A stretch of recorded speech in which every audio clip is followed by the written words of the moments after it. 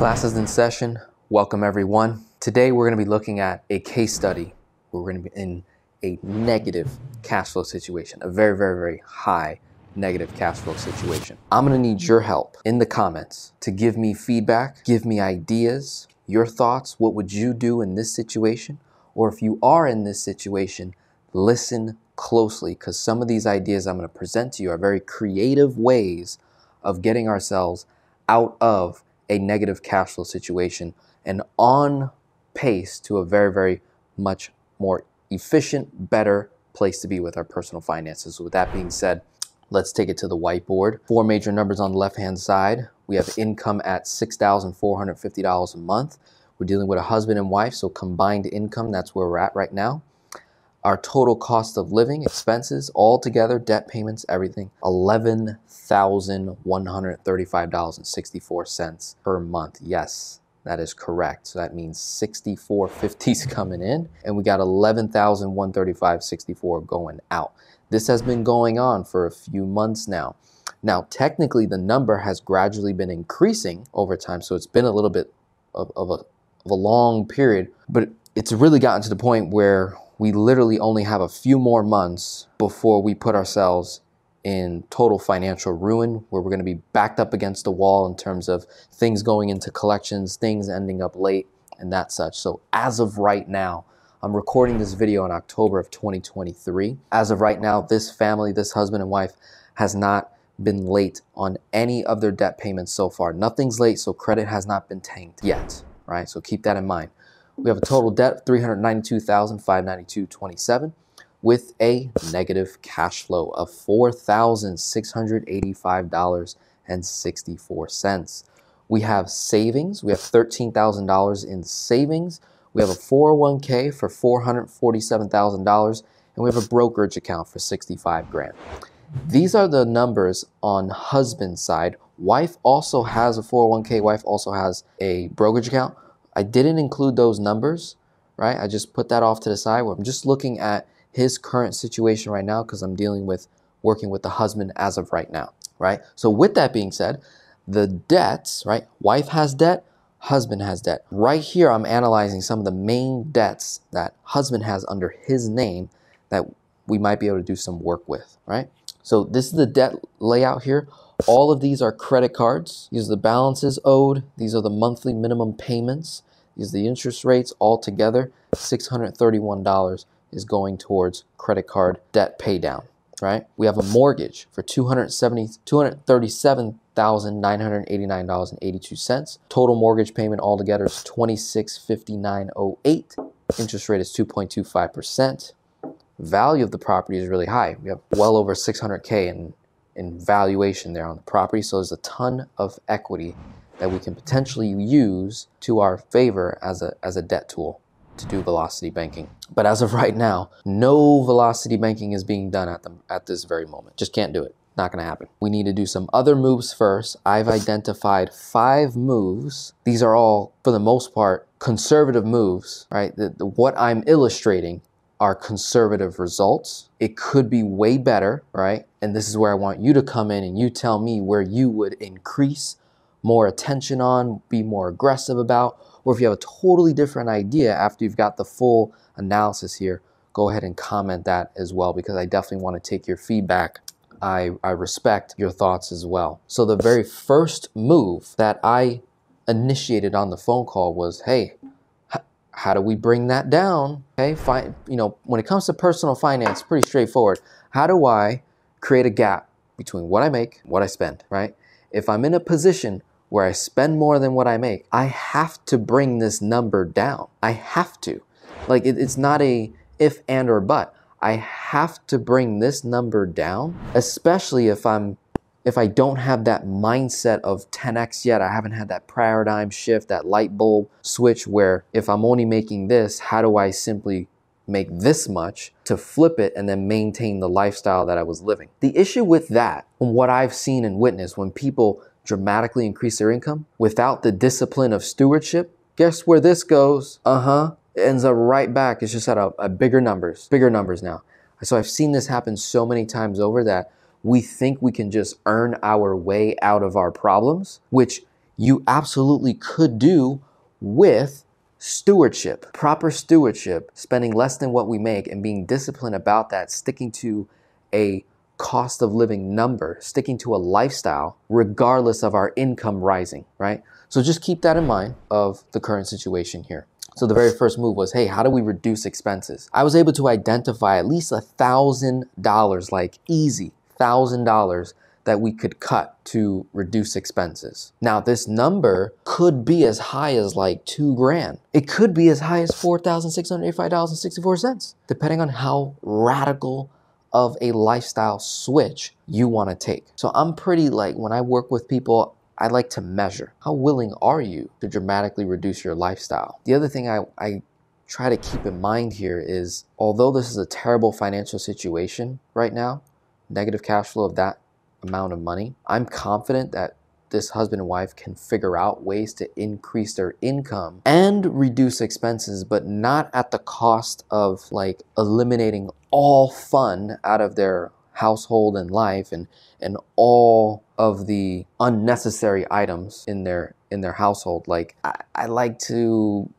develop a gradual process of reduction of waste if i can reduce as much waste as possible so that's just being more intentional with my personal finances. Let's go. Let's do that. And then we look at okay, can we get rid of the subscriptions? No, you want to keep that for the kids? All right. Can we get rid of cable? Cool, let's get rid of cable. Keep the Wi Fi, right? Keep the internet. Gotcha. Basic cable. Can we cut dining out in half, so by 75%? So we start at 50%, but then gradually increase to 60 then 70, then 80, then 90, you know, like a gradual process. When when you do an immediate lifestyle switch, I've noticed people fall off the wagon after a couple of months. So I like to take a gradual approach to it. So I identified $1,026. And again, that number could easily be higher, but in the first month, this is what we're committing to. And then I told them, hey, if we just increase that by $100, $200 each month, then you're going to get in the in the rhythm and it's going to become fun. We want to make this a fun process, even though we're in a very serious financial situation. Let's remember to keep it fun, keep it moving. Second thing, redirection of cash flow. This whole case study is going to show you how we redirect money, assets, and the flow of money to put us in a better situation overall. There's going to be some cons to this, but I believe the net payoff will be better. So redirecting cash flow looks like, hey, they're contributing to 401ks. What if we temporarily stopped it all together? That's one option. Or what if we reduce it all the way down to just the match? They agreed to do that. That redirection might give us another $100 or so. If we take it down to the to the match, I think it would be more, probably like 200 or so. Uh, so I actually only factor in like $100 there into my equation.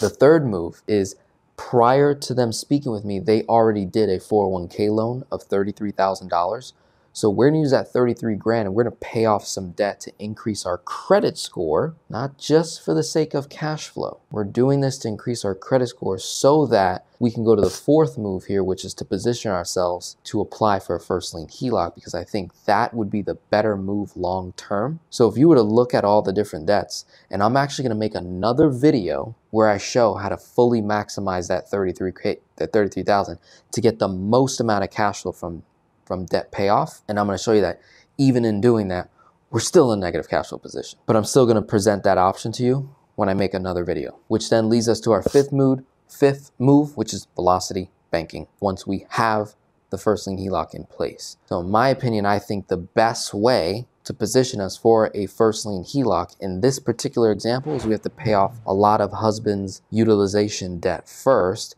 So these debts are in his name, the mortgage is in his name, only. So we need to improve his credit score. It's in the mid 600s. I'd like to get it at 720 or higher so we can get the best rates, best offer, best deal from a bank on a first lien HELOC position, right? And then I can do velocity banking. So when you when I ran all the math here, total estimated reduction with all these different moves is around 1,757 bucks, which would bring the negative cash flow position from 4685.64 down to 2009-2864, which gives us about 4.4 months where if you're wondering, well, how do I come up with that other money? What have they been doing to come up with the with the negative is they've just been adding debt to credit and then pulling from savings. So with savings alone, we would have about four and a half months before that money runs out, and then we're right back into debt again. Okay. And when we take out that 401k loan at the 33 grand, their monthly payment is going to be $700. So what actually ends up happening is we reduced our expenses by actually only $1,057. Because although we took this 33 grand and we paid off all these credit cards, right? So we, we paid that off, pay that off, pay that off, pay that off, pay that off. And we paid off 11,290 and you'll get 33 grand when you when you add up all those balances and then 11,290 you're going to redirect $631 so that comes into this number but then that 631 gets eaten up by this 700. It's like, Denzel, well, why would you do that? Because again, I'm trying to increase cash flow, not uh, increase credit score, not necessarily increase the cash flow for this particular move because I'm trying to get to this. Then that will help me overall. So we're in October 2023. November, December, January, February, four months is when I run out of cash. So, preferably between December and January, if I pay off all these utilization credit cards now, it hits my credit report. I keep paying my bills on everything else. My credit should jump, utilization debt goes down, position myself, build a relationship with a bank, apply for a first lien HELOC. Once I've done all the pregame work, for Velocity Banking. Let's say we get approved for a first position HELOC where we move this entire mortgage gets paid off, then it gets moved into a first position HELOC. With the amount of equity that they have, it wouldn't be too much of a stretch to get about 400 grand. Probably could even get a half a mil, maybe even more than that, right? So I'm just gonna estimate around 40, 400K, which is like 70% LTV, some, somewhere around that. So at 400K, I would owe say 237. Now, I wouldn't actually owe 237 by December January, right? It'd be a little bit less. So I'm just overestimating here. And I'm overestimating on an interest rate of 8.5%. So I'm going off the prime rate. So what would happen is when you go from a regular mortgage to a first lien HELOC, you are now only obligated to pay the interest on that debt. So the so the net output is going to be $1,685.76 based on this number owed at this interest rate. So I know I can get a much lower rate, especially if I increase my credit score. So again, I'm just overestimating on that, overestimating on this. So it leaves about a $973.32 difference from that number of the mortgage. So that's how much less the negative cash flow position puts me in, right? So what I put when you factor in minusing the 700 from this 1757 number and then minusing that number and then I and then I minus escrow and taxes and insurance, I'm now down to around 200928.64. Expense out is 9378.64. Income in, no changes to income 6450 going into the first position HELOC around December, January, okay? Now, should this work out, I'm immediately going to move a bunch of other debt into the first position HELOC, I'm already in a negative position. All I'm doing now is rerouting all the funds to the home equity line of credit because I just created all this capital to buy more time. Because come February, what happens? My savings runs out, 292864 my savings runs out, right? So I could have just thrown the savings into the first lien HELOC, but just know that the, the balance is not going to be going down. The balance is going to be increasing month month to month because I'm throwing debt in there and I still have a a higher output than income coming in, right?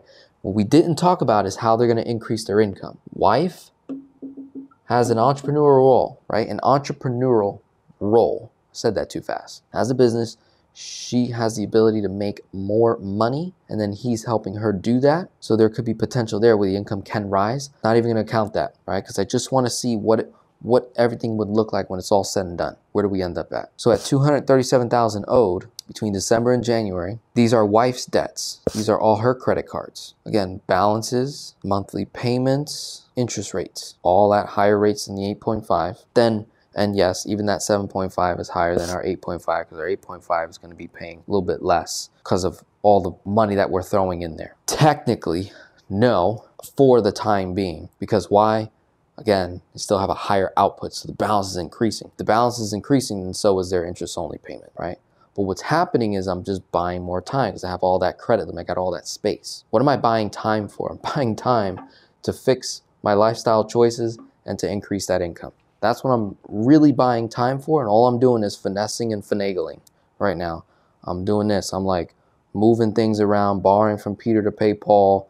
I'm buying time while trying to develop better stewardship over my money to avoid the radical things. Like a radical move, like Dave Ramsey would tell you, sell the damn house, sell your car, uh, cut up all your credit cards. I don't know, maybe pull from investments and just pay everything off. Right? That that's you know that's literally the easiest thing to say. Right? It's the easiest, hardest thing to do though. It's easy, map it out the other way, but it's so hard. Who's actually going to do it? Very few people will do it. Those that have done it, comment below if that's you. If you actually were like, yeah, I sold everything and just start it over again. That works too. That is a strategy. This is a strategy of leverage, right? So if you don't agree with it, that's fine. Comment below. I don't agree with anything you just said in this video, Denzel. That's totally fine. It's your opinion. Let's conversate, dialogue, see how we can help more people. Maybe you make a video, right? And you go and help people. With wife's debts, if you add it all up, it's 35,922. Understand that around December, January, these balances are going to be a little bit less because I'm recording these numbers in October of 2023 and keeping it the same, right? For the purpose of just overestimating what the ending balance would be. So if we did a chunk, then we reduce cash flow coming out of the first lien HELOC by $1,343, right? So we bring it down to around this number, around 1,585.64. If we continue to do the other things that I said was, you know, keep, you know, each month increase reduction by $100, then we'll probably be at a negative cash flow of around a thousand bucks, and this will be February 2024. Balance on the HELOC is now overestimated around 275k. After a month or so, when wife's credit score starts to rise because now husband's utilization debt is now extremely high. Everything is now in one location. I would have wife go and apply for a 0% credit card and then husband as well, just to see if we can get something. If I can get a 0% credit card, anywhere from 10 to 20K, I'm gonna see what else, what other debts can we move into there or out of here to reduce that interest only payment, right? 275K, 275K times 8.5%, yeah, it's now $1,947.91, right? on, on that money owed. The payment's going to keep going up, but when it when you see the net net number of all the other moves that we're making, we're going to be somewhere around here. February 2024, I'm now out of money, right? So at this point, savings is at zero, right? This is assuming income did not increase. Only thing we did was decrease the expense number and we got it with all that moves. We're still negative, right? So this isn't like we're not at total victory yet. We're not at the home run, not the finish line. It's not done yet. So these are the three other things that I put here, which was gotta increase the income, maybe withdraw money from the brokerage account to buy more time. Maybe not all 65K, but a good amount that would maybe pay off some more debt. We have a car loan I didn't throw on here. We have student loan debt that I didn't uh, throw on here. So that's the only other debts that remain outside of the first lien HELOC. I could drive all debts into the first lien HELOC and that would put me into a like a negative 200 or like almost break even, right? Almost break even. But now my HELOC is nearly maxed, would be almost maxed out. So I don't want to max out my HELOC. I want to keep space in there because I'm buying time, right? So at a negative $1,000 at 275.0 with a credit limit of 400K, I've got like 12 months to really figure things out, right? Get that, get that income higher. And if I can continue to reduce more costs along the way, I'm to try and do that. So that is a full breakdown of this case study here dealing with a negative 4,000 plus dollar cash flow position. It's scary, it's tough. If you're out there, you're in a negative cash flow position, paycheck to paycheck, barely breaking even, barely cash flowing any money. I have a ministry of finance called Finance Geek Ministry. Love for you to join in. You click the link below. It's the first link says Join Finance Geek Ministry. You get registered, you can get a free course, and you're gonna get put around a, an entire community. We gather about two times a month. And then there's also things that you can do in the course, and there's things that you can do to exchange your social currency to get free counseling, coaching, strategic financial strategy sessions from me completely for free. You don't have to come out of pocket financially. You're in a negative situation. I don't expect you to pay me anything, right? Some people do. This particular couple did actually pay for a consultation. And then on the phone afterwards, I told them, hey, I don't want your money. Keep your money. For the next couple of calls, that I'm going to give to you because you trusted me to help you with this situation. I'm going to keep pouring into you. I'm going to help you get to a positive cash flow position. Once you get to a positive cash flow position, you can pay me later, right? I don't mind that, right? I don't mind just say, okay, we had three, four, five phone calls and then invoicing you at a later time you're in a much better financial situation. But I'm only willing to do this for people who are willing to commit. I need to know that you're committed and you're not just gonna waste my time. I can't have people wasting my time saying they're gonna do something and then we get on a call months later and you still haven't done the thing. I could have helped another mother, I could have helped another husband, I could have helped another another mom out there that was more serious that would have done the work to get it done, right? So that's my action step for you for those that are in a bad financial situation. For those of you who are making really good money, cash flow is hot and you're just looking to make a couple tweaks. Let's jump on a call. Let me help you out. Let's strategize together. Maybe you're looking for cash value life insurance designs, policies, different investments, different opportunities. Maybe you're someone that's doing really well, multiple six, seven figures, and you're like, hey, I just want to give. I want to figure out how I can help your ministry go grow, reach out to me directly so we can figure out how you can be a kingdom financier so you can help me help more people with their personal finances become better stewards, make better decisions with their finances, ultimately creating financial freedom and independence so that they can be abundant givers as well and create that ripple effect. Right. Hopefully you enjoyed this video. Have a wonderful day. God bless, and we'll be talking soon.